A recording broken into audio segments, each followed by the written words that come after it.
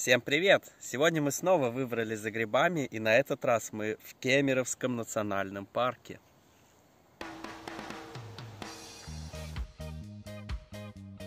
Мы не туда свернули и вышли на болото.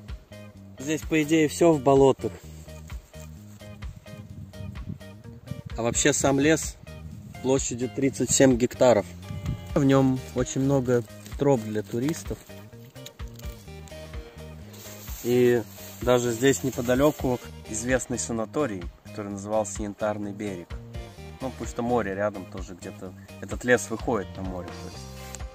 Я смотрю, у нас начался сегодняшнее собирание грибов с маховиков.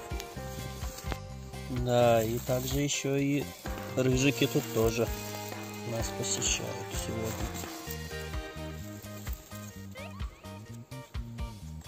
Нормальный, да? Да.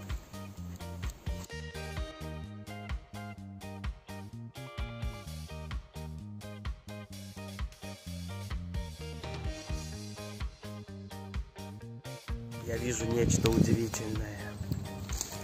Вот. Подберезовик.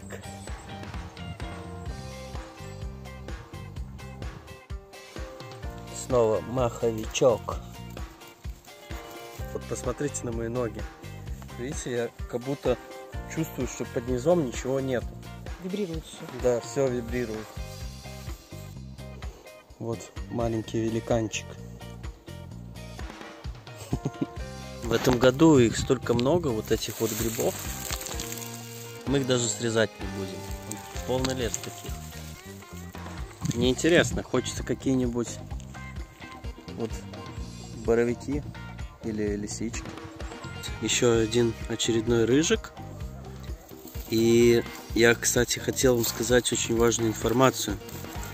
Сейчас в Латвии такой закон вышел о том, что если ты грибы собираешь просто с корнем, вырываешь, уносишь, то могут оштрафовать вплоть до 600 евро. Что это такое за грибочек? Сразу не поняли, это просто был козленок.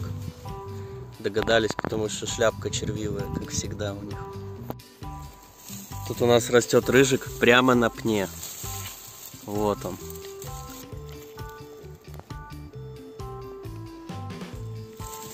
Вот еще один такой красивый.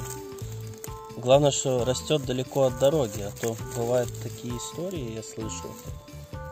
Некоторые бабульки, они собирают возле дороги, а потом продают их на базаре. Вроде кажется, добрая бабулечка собирала грибочки, продает. На самом деле, они просто возле дороги собраны, и там могут быть, ну, токсины всякие, выхлопные газы, свинец, ну, вредные всякие вещества на грибы попадают. Возле дороги как-то грибы собирать такси. Не, ну я, конечно, не хочу сказать, что все бабульки такие недобросовестные, но, конечно, есть и добросовестные собиратели грибов и продают хорошие грибы на базаре. Но все же вероятность очень большая. О, да. Ой, ты мой хороший. Маховичок. О, это супер грибы. Но однозначно можно сказать, что это семейство зонтиковых. Хотя у них очень много названий, но одно такое распространенное их название это гриб-навозник. Он очень вкусный, напоминает по вкусу орехи. Но, правда, его нельзя с алкоголем пить, потому что говорят, что какой-то может эффект создаться. Я даже читал, что вплоть до смертельного исхода. Ну, хотя я пробовал эти грибы. Думаю, что это, наверное, очень-очень редкий случай. Удивительно, когда в лесу растет сирень. Что-то мне подсказывает, что мы сейчас куда-то выйдем. Мы вышли к морю. Я никогда не видел, что здесь медуза есть.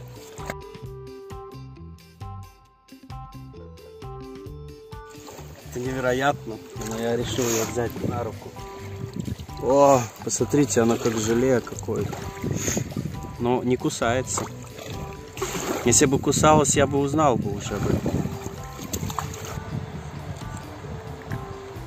Вообще классно, если долго шел очень, то можно просто на берегу отдохнуть, полежать. Я вот даже скупался, хотя такое время года, просто уже в середина осени, я еще купаюсь. О, прямо недалеко от берега растут.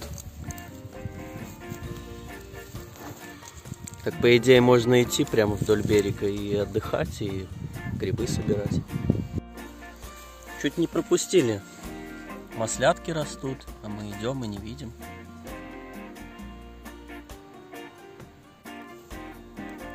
Мне здесь даже как-то больше нравится. Смотрю, и рыжики. Ой, ну червивый, ну ладно, тут вон, посмотрите, их сколько. Еще один. да, И тоже червивый. Ну ничего. У нас тут их много. Не, ну вообще, будут боровики сегодня или нет, я уже не могу просто. Я очень сильно разочарован. Что же это такое? Что это за великаны? Прикинь, ножка нормальная.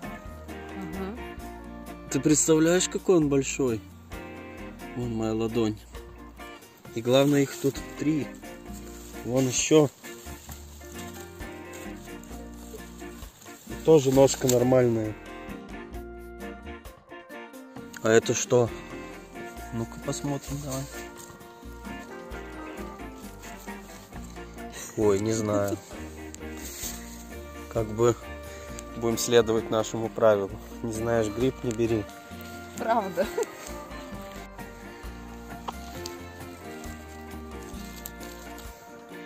Нет белых, зато есть маховики. А маховик тоже хороший гриб. Смотри, я в него чуть не врезалась. О, видите, какая может быть опасность? Просто вот так идешь по лесу, а тут вот так вот, такой здоровый. Посмотрите, какой он большой. Он просто великан. Мы корешок вернем на место.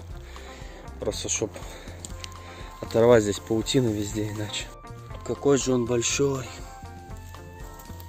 Но я не уверен, что это боровик. Мне кажется, Ой, это какой-то такая нога, что... это какой-то масляк, что ли.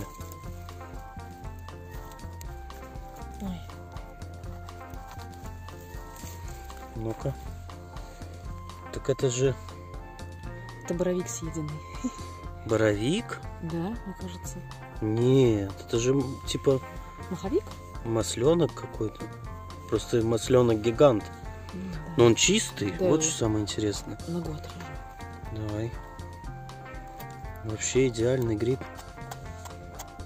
Забираем.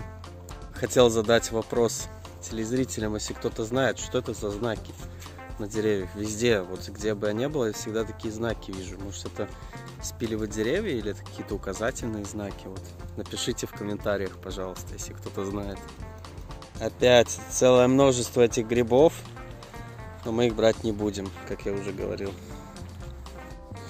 Кто у нас здесь живет? Интересно, что если с фонариком туда руку засунуть? Может там кто-то есть?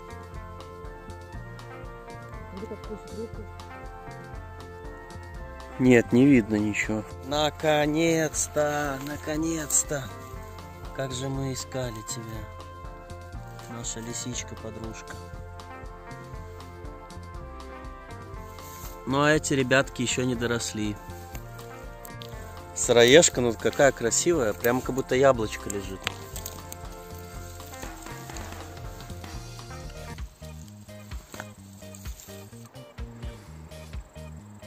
Тут между бледными поганками затаился один нормальный грибок.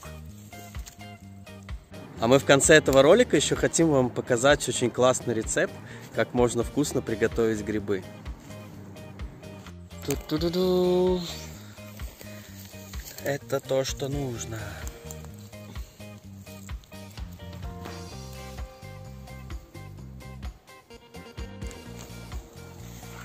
Шампиньончик, но страшно так брать.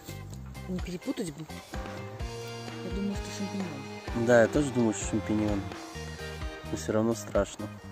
Но надеюсь, мы не отравимся. А тут, кстати, у нас еще вот один грибок тоже.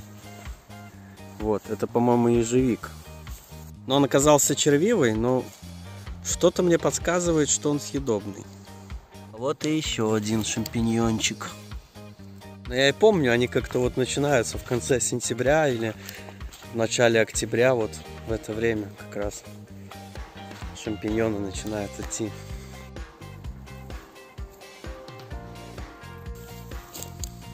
Отрезаем. Такие сыроежки бывают красивые, что как-то и не удержаться даже. Все вместе росли. Говорят, что где много муравьев, там нет клещей. Но я точно не проверял. Еще одна лисичка.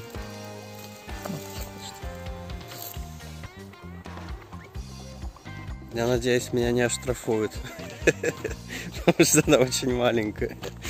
Мы, как добропорядочные граждане, все грибы срезаем аккуратно под корешок, чтобы в следующем году снова выросли другие грибы. А это уже достойная лисичка. И рядом еще одна. Не доглядел, даже вон еще в мхе были. Еще лисы.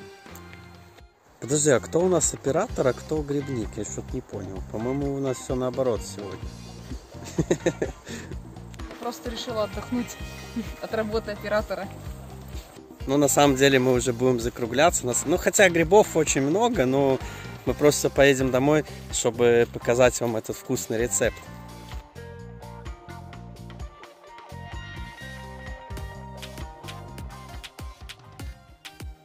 Ну что, начинаем готовить? Для начала их нужно просто начать варить. Варить их надо 15 минут. После этого их надо промыть и снова варить 15-20 минут. Ну и вот, по завершению варки начинаем их снова промывать. И после того, как мы их промыли в друшлаке, надо их оставить чтобы они все стекли и полностью в них не было воды. Соль по желанию можно сразу, можно после того, как они стекли и тоже по вкусу. Много солить не, не стоит. Прижимаем тарелочкой и чем-нибудь тяжелым. Оставляем в холодильнике на сутки примерно. Ну и самое интересное, начинаем раскладывать грибы в баночку.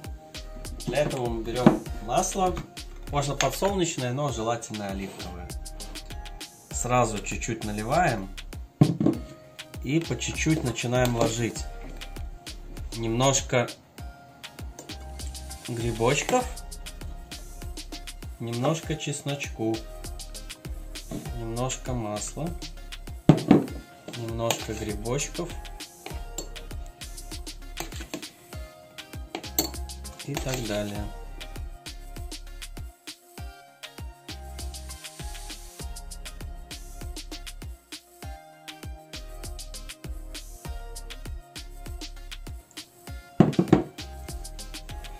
Масло должно закрывать полностью все грибы. После этого мы их тщательно закручиваем.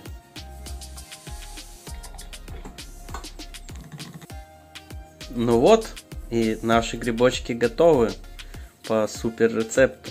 Всем пока, до новых встреч!